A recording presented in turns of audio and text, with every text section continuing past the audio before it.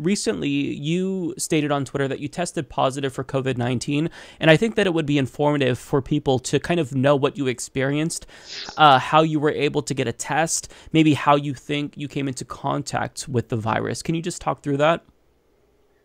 Honestly, to this day, I don't even know how I got a test. I, I randomly, uh, my girlfriend's friend mentioned this doctor's office. Uh, it, it, oh, One Medical, excuse me. They're not paying me. Uh, which I guess does, has an app and does like virtual appointments too. So I was doing virtual appointments appointments with them, and then my cough got so severe with the fever, I decided to go to the office, and they had a test. So I guess I, I, I maybe I lucked out. So uh, that's how I knew I had it. They actually did say that there's a lot of false negatives too. So a lot of people are being told they're negative, and the tests are not foolproof. Um, honestly, I think for me it was. Uh, amp maybe made worse because when you have something like this, the, the suggestion is rest. And I was like in the home stretch of finishing this Vice story, so like I was working 14 hours a day. Uh, it's it's stressful. That's not good if you have a virus.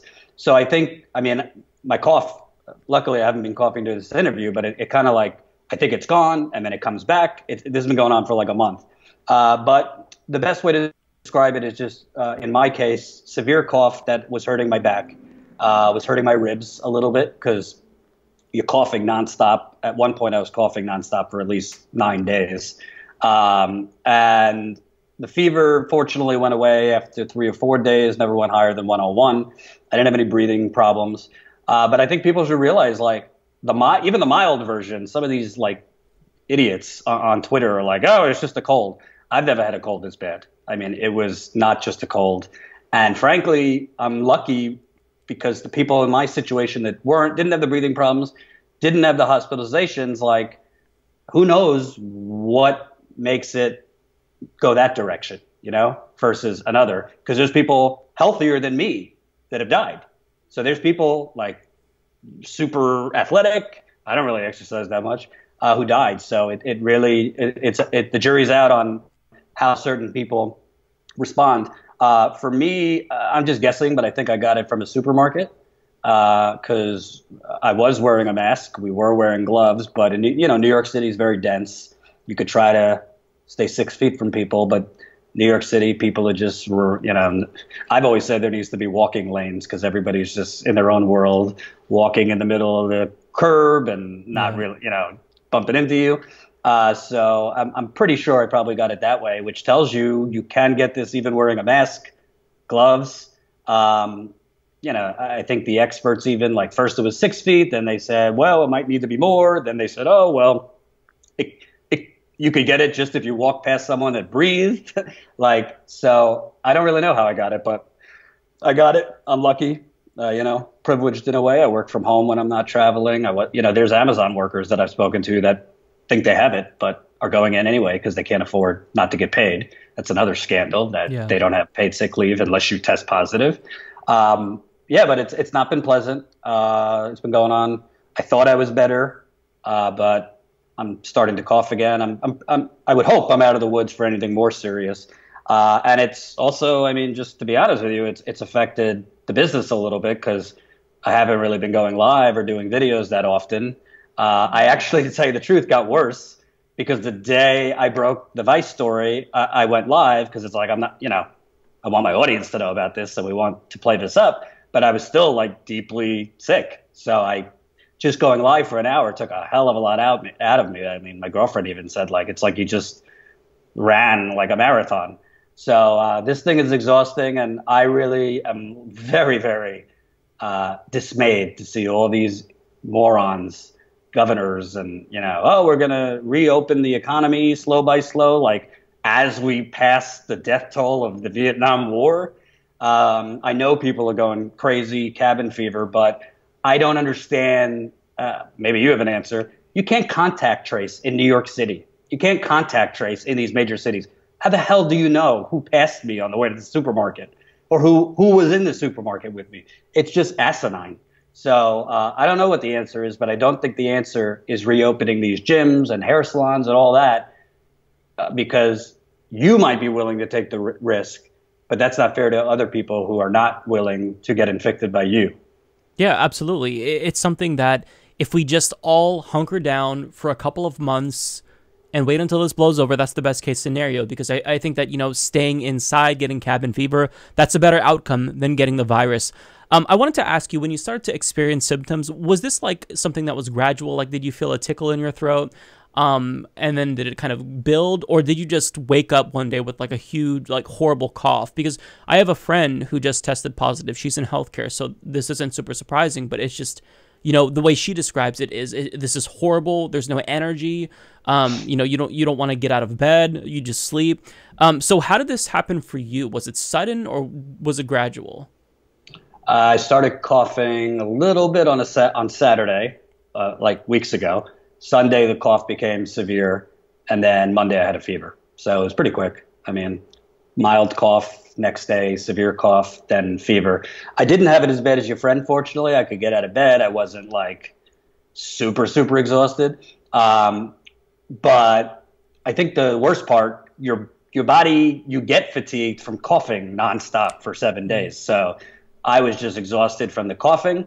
Uh, and mentally, I'll be honest with you, again, like just people dying, so I'm not complaining, but mentally, it does take a toll on you because at least when I didn't know I had this, you know, it's it's said like you can go outside to take a walk if you're keeping distance, you know. So at least you get that like 20 minute, half hour break from being stationary.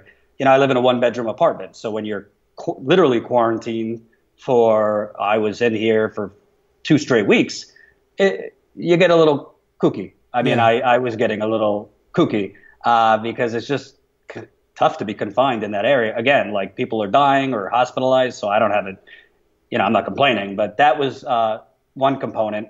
And uh, the other thing I'll just say is I think that um, it's really a shame that in this situation uh, the media is ignored. It's it's kind of like with school shootings; they're doing the play-by-play instead of talking about the root. I don't see the media talking about like there is zero discussion in the media, corporate media, why are why are we even paying rent right now? Right. Why are we paying rent? Why why are we paying mortgages? I mean, you look at Europe, the, the government's either paying for like 80 to 90 percent of people's pay, uh, companies' payrolls, or in some cases, just like you know, mortgage paused, uh, rent paused, not like paused and then you pay it all back in one lump sum, just like erased for now. And your landlords mortgages, so they don't, they don't suffer. Like the fact that corporations run our government, and I've said to my audience, like it doesn't matter if Biden or Trump wins, because I mean, I think Trump's a little worse, but the bottom line is neither of them make the decisions. It's, it's their donors that are making the decisions. But there's no like deep discussion about why is it that in the United States of America, when something like this happens, why are 20 million people now out of work and no health care? like it's mentioned, but there's no, that is a disaster. And it could be fixed like right now. And it's a scandal that the Democratic frontrunner is not saying, yes, right now, Medicare for all. We'll talk about it. You know, I disagree with it permanently, but right now, Medicare should just pay for all this. Uh, it, it's completely scandalous, and the future is bleak. I'm going to talk to Richard Wolff uh, later this week, but it's going to be like 2008, Mike. I mean, these companies are not hiring back all these workers when times are good. They'll do more with less. So you're going to have, you know, talk about Andrew Yang, the jobless economy is going to be expedited quicker. A lot of these people are not going to get employed back. Uh, not to mention opioid epidemic getting worse because of dep- unemployment, depression, uh, suicides, those kind of things. And there's very little talk of it. And, you know, I love Bernie, but he has not organized his army to, they can't protest in, in physical space now, but he has not organized his army to demand these things. Uh, now is the time. Uh, I don't agree with some that are going off the rails and Bernie's a sellout and a coward. I don't agree with that. But now is the time to just say straight up, like, no, we're not paying our rent. This is absurd. We we don't have jobs. Like, it's crazy. Um, so I think there's a broader discussion than just the health pandemic.